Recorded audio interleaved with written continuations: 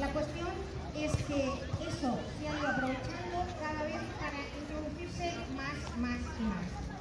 Sabéis que aquí en Cataluña tenemos un modelo especial. Es primero la comunidad autónoma que más se privatiza, más que la de Madrid. Poco le queda una a la otra, pero es donde más se privatiza. Y ahora mismo el modelo, el modelo tiene, por mucho que nos toman el carro en la tele, en la radio, lo que sea, de la voluntad política que hay de cambiar eso, no es cierto, por lo menos ahora es de Ara. ¿Por qué? Porque el presupuesto que se dedica en salud es de los más bajos que hay a nivel europeo y a nivel de las comunidades autónomas de toda España es de los más bajos. Estamos en tercero por la cola. Eso en Cataluña, que tenemos los millones de personas que- que somos. Hay comunidades que tienen, por decirlo así, renta per cápita más baja que nosotros, un PIB más bajo, y sin embargo dedica más. Por ejemplo, Asturias, ir más lejos.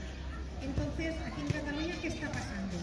Pues aquí tenemos un sistema peculiar de, de sanidad. ¿Cómo? Pues en la democracia, nosotros sobre todo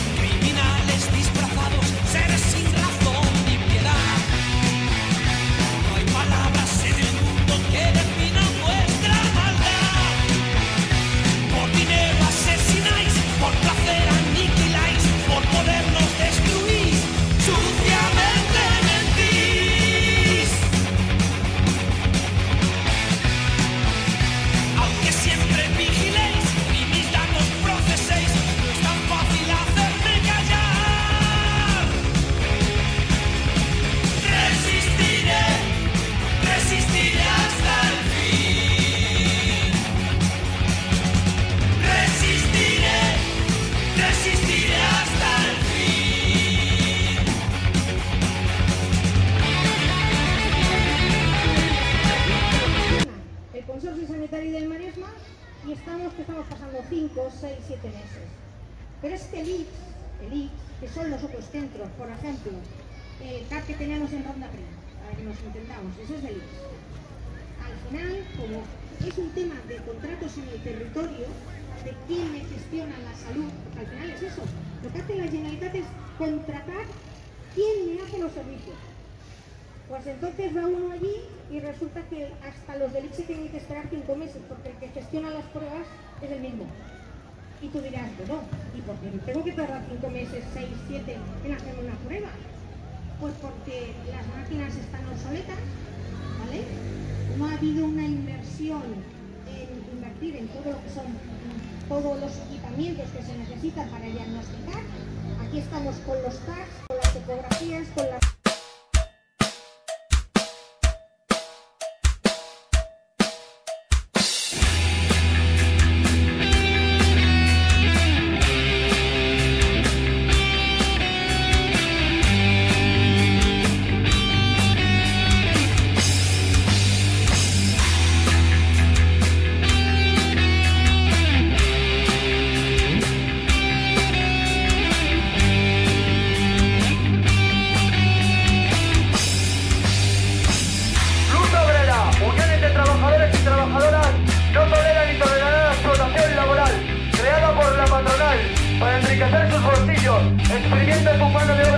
prensa tienen expertos y tertulianos que le están dando la paliza permanentemente a la gente en su casa a través de la televisión diciendo que la sanidad no puede funcionar con recursos suficientes, que hay que hacerse una mutua. Y eso significa hacer dos tipos de sanidad. Una sanidad para pobres y una sanidad para ricos. Aparte de que ya sabéis que todas las personas que tienen mutua, cuando tienen problemas graves, la mutua se desentiende. Y entonces ese problema grave lo tiene que solucionar la sanidad pública. La única forma, pienso yo, y lo hemos dicho muchísimas veces, para hacer frente a esta ofensiva que tienen los poderosos para hacer negocios de la salud, la única posibilidad que tenemos es organizarnos socialmente. Es que todos nosotros empecemos a participar en asociaciones de vecinos, en coordinadoras, en mecanismos de defensa de la sanidad. Si no es así, de aquí a poco la sanidad pública todavía será peor de lo que tenemos actualmente. Gracias. Defiéndete pueblo contra tus tiranos, hasta que consigas un mundo de hermanos. Defiende tu idea. social. Por lo tanto, no podemos permitir que nuestra sanidad pública continúe degradándose en perjuicio de nuestra salud. La diferencia entre la sanidad privada y la sanidad pública es que la sanidad privada, su único objetivo es aumentar la cuenta de resultados ante el Consejo de Administración. Y la sanidad pública, su único objetivo es mantener la salud de los ciudadanos el mayor tiempo posible. Por lo tanto, tenemos que presionar a nuestro gobierno para que cada año aumente el margen de liquidez para la seguridad social a través de los presupuestos generales del Estado. Porque si nuestro país, a pesar de la deuda pública, puede invertir 10.000 millones de euros en construir dos fragatas de última tecnología para que un torpedo o un misil los mande al fondo del mar. Creo que nuestros gobernantes deberían hacer una reflexión sobre si es mejor invertir en armas de guerra para matar o invertir en máquinas para Cristo vivir. está buscando obreros hoy que quieran ir con Él. ¿Quién dirá, Señor, Hoy en día, contigo ¿Qué voy? necesidades tenemos? No tenemos necesidades porque nos lo dan todo. Los políticos se han encargado de darnos todo. ¿Y qué están haciendo? Jodiendo todo lo público.